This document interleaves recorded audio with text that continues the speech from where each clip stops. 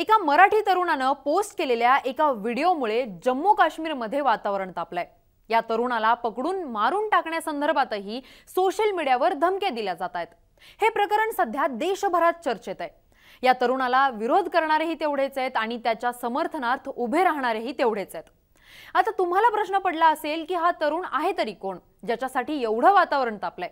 त्याचं नाव आहे प्रथमेश शिंदे. हा श्रीनगर येथील एन आय टी कॉलेजचा विद्यार्थी आहे. त्याच्या विरोधात धार्मिक भावना भडकवल्याचा आरोप करत जम्मू काश्मीर पोलिसांनी गुन्हा दाखल केलाय. एन आय टी कॉलेजनं प्रथमेशवर निलंबनाची कारवाई देखील केली आहे आता नेमकं हे प्रकरण काय आहे? प्रथमेशनं नेमकं काय केलंय? हे सगळं आपण या व्हिडिओच्या माध्यमातून पुढील काही मिनिटांमध्ये जाणून घेणार आहोत. नमस्कार मी किरण गीते आणि तुम्ही पाहताय मुंबई तक. सोशल मीडियावर केलेल्या एका पोस्टवरून प्रथमेश शिंदेला कॉलेजमधून काढण्यात आलंय. जम्मू काश्मीर पोलिसांनी प्रथमेशवर धार्मिक भावना दुखावल्याचा आरोप करत गुन्हा दाखल केलाय. एवढंच नाही तर काश्मीरमधील एक समुदाय प्रथमेशच्या शोधात रस्त्यावर उतरलाय. सोशल मीडियावर प्रथमेशला मारून टाकण्याच्या पोस्ट व्हायरल होत आहेत ही झाली एक बाजू. तर दुसऱ्या बाजूला एक समुदाय प्रथमेश शिंदेच्या बाजूने उभा ठाकलाय.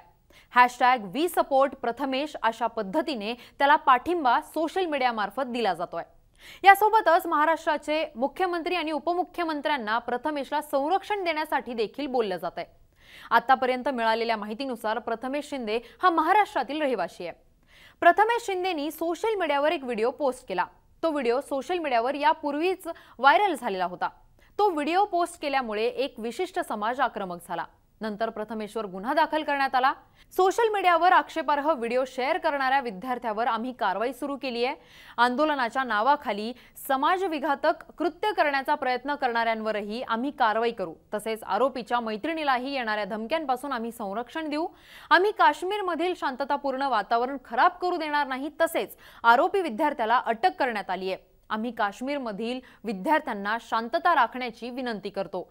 असं जम्मू काश्मीरचे डीजीपी आर आर स्वेन यांनी सांगितलंय. काश्मीरमध्ये वातावरण तापल्यानंतर संतप्त जमावाने एनआयटी कॉलेजच्या परिसरातही निदर्शने केली.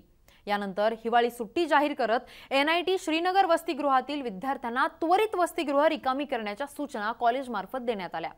आता हे संपूर्ण प्रकरण कधी शांत होणार आहे हे पाहणं महत्वाचं असणार आहे.